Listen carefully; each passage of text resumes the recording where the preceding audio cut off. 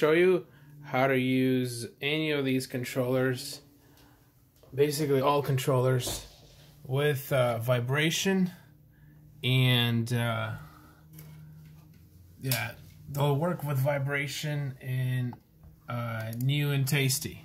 All right, so Oddworld new and tasty has a problem with the controllers, and uh, I'm gonna show you how to fix all of that. So first of all, you uh, go to your library and you go to new and tasty. Oddworld new and tasty. New and tasty. Just like saying that.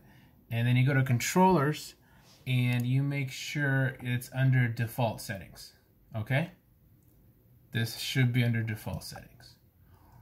And then you go to, uh, you know, over there, right click Steam, settings, and uh, under controller, general controller settings, you just want this to always be under PlayStation configuration support. Don't use Xbox, use PlayStation. I don't know why. It just seems to work with more stuff for this thing.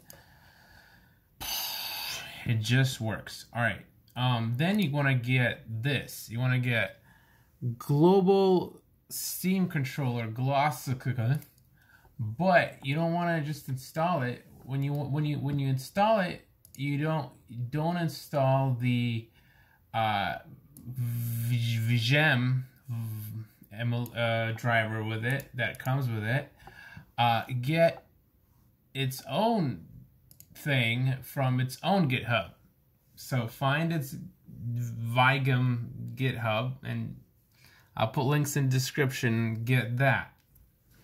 And then, uh, so you install that, install this one without the USB driver.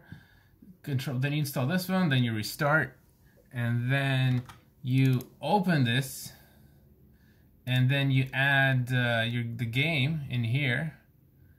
Uh, you do all that, and then uh, the game you press uh, you add your game here with the that like that and then you press save and then you add all to steam and everything should be good. And uh, just, just those things are things. If you don't get that if you get an error it's because you didn't in install the, the the driver that came with it instead of the other driver. So after you do that, you you type NTT in your library or NNT, NNT, NNT under games, NNT. All right, and, uh, and then you launch from there, from instead of the actual shortcut, and then the game will run, and uh, you your controllers will work and your controller will work and your vibration will work. Now, uh, you can use wired or wireless. Those should be fine. If it doesn't work, uh, restart your computer. Especially if it crashes, restart your computer.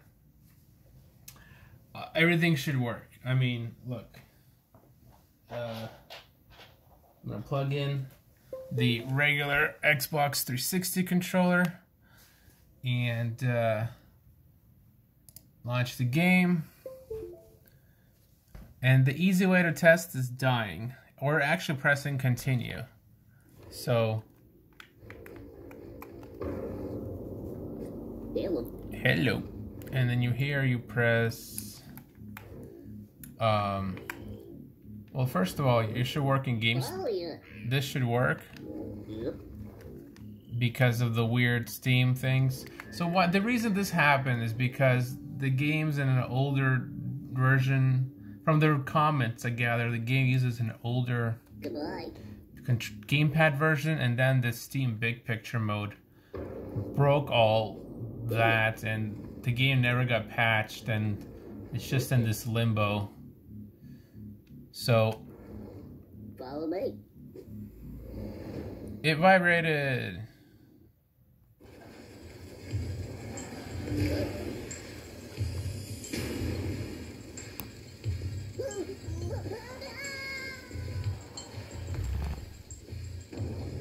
See? All good.